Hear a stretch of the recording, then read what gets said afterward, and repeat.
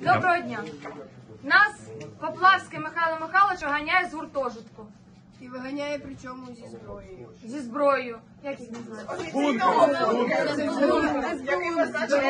Йому, щоб вигнати нас е, з е, сховища, де ми зберігаємось зараз. Яке державне. І під час війни воно не належить нікому, крім держави і крім, крім громадянин цієї держави. Правильно? Так. Так. Він приїжджав декілька разів. Е, три рази. Всякими методами хотів нас звідси вигнати. Сказав, що якщо ми звідси не поїдемо, то завтра зі зброєю за нами прийдуть і хлопців кинуть як пушечне м'ясо під Ірпінь, а нас дівчат відправлять в нього на нас свої плани. На гарячі точки волонтірувати. Нам надзвонювали куратори, е, змушували нас, щоб ми поїхали з е, цього бункеру. Вони е, у нас просили номери наших батьків, і, і вони телефонували батькам, казали, яка тут дуже жахлива ситуація, що Маніпулювали. був маніпулювали. психологічний тиск.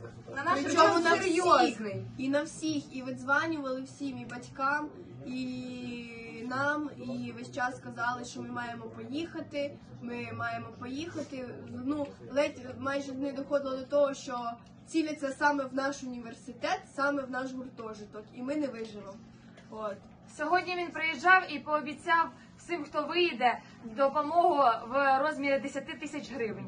Тепер, коли ми пишемо це деканату, кожному з деканатів, ці люди роблять вигляд, що нічого, нічого такого не було, і говорять, що вам ніхто грошей не обіцяв, нам такої інформації не передавали. І у них таких грошей, на жаль, немає. Вони можуть видати лише по 2 тисячі гривень, і то лише тоді, коли ми виїдемо звідси. А Тобто, взагалі Тобто гарантії нам ніхто не дає. І вони так і написали, що гарантії ми вам давати ніяких не будемо, можете не маніпулювати. А ще з нас вимагають розписки з всіх, хто не, не покинув гуртожиток, що це знімається будь-яка відповідальність з університету. Просто ситуація в цьому, що ми не просто хочемо залишитись тут, але нам просто немає куди їхати. Додому ми не можемо поїхати.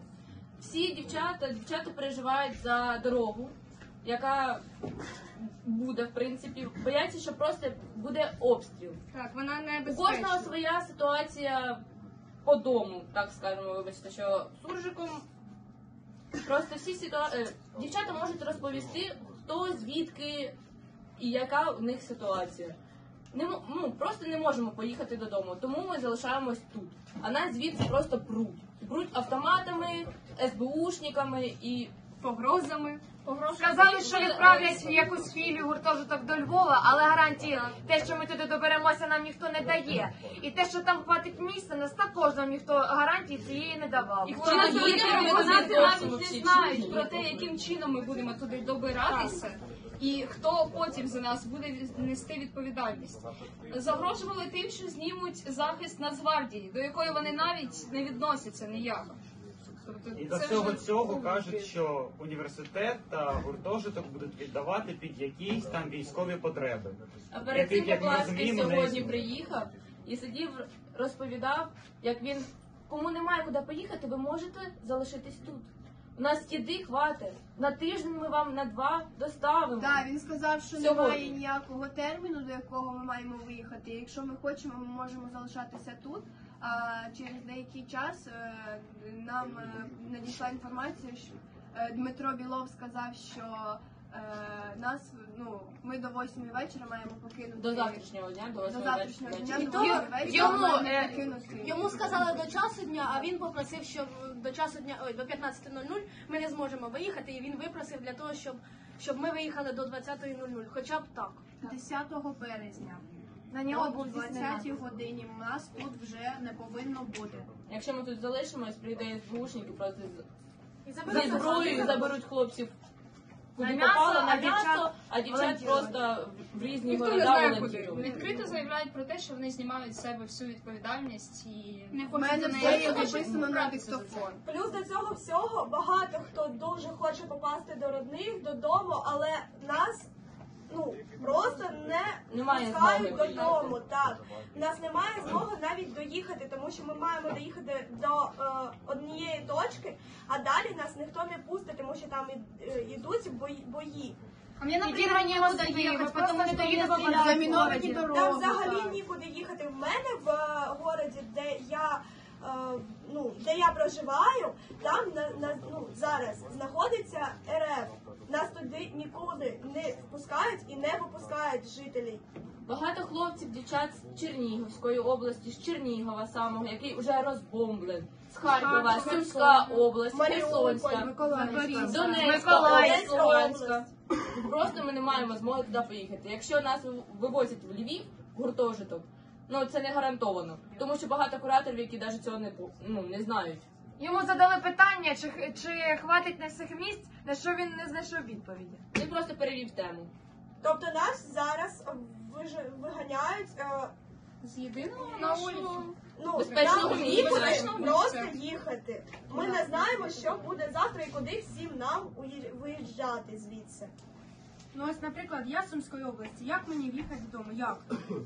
Ну, а нас зараз із бомбосховища, яке не обстрілюють, яке зараз не бомблять, нас просто виганяють. На данный момент Яка мы- гарантия мы того, себя что мы- чувствуем здесь безопасно? Куда ехать? Под обстрелы э, в Херсон или куда е- не едут вообще поезда? Мы не понимаем, как нам Ну действовать. яка гарантія того, що нас наш поїзд не обстріляють і ми приїдемо хоча б живі? Якщо ми зараз знаходимося всі тут, ну е, Даже реально в взяти- безпечному місці. Нас зараз охороняють, а нас зараз тупо насильно і з погрозами виганяють із бомбосховища. Навіть якщо взяти його слова, як він нам передає їжу, що три дні їхала сюди машина і єлі-єлі доїхала. Яка гарантія, що ми доїдемо до Львову? Що ми виїдемо, що нас пустять? гарантії ніякої, що ми будемо далі живі, що з нами все буде добре. Так ми навіть не е, просимо цієї допомоги. Просто залишити ми нас навіть- тут навіть не і просимо все. Є святі люди, волонтери, які нам передають харчі, е, гігіє- Мед- гігієнічні ме- медикаменти, все, все для гігієни. Тобто ми його не просимо.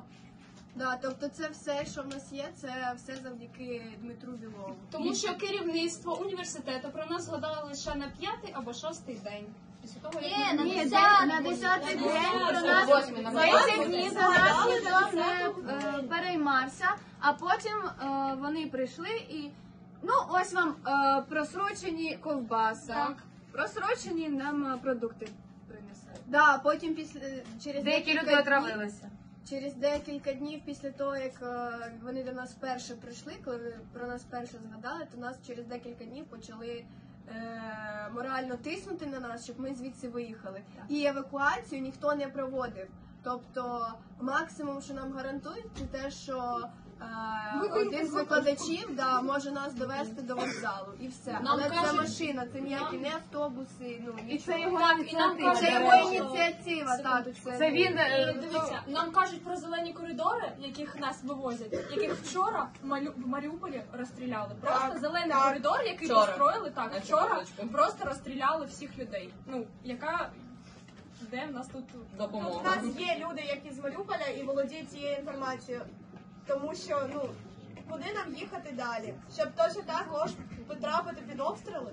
Ну, доки наша влада просить усіх людей знаходитись у сховищах, знаходитись у безпечних місцях, брати їжу та намагатися вижити, наш великий Михайло Поплавський каже нам: валіть з бомбосховища на вулицю, добирайтесь на вокзал, їдьте у якийсь там Львів, до якогось там гуртожитку, через щось, через якось.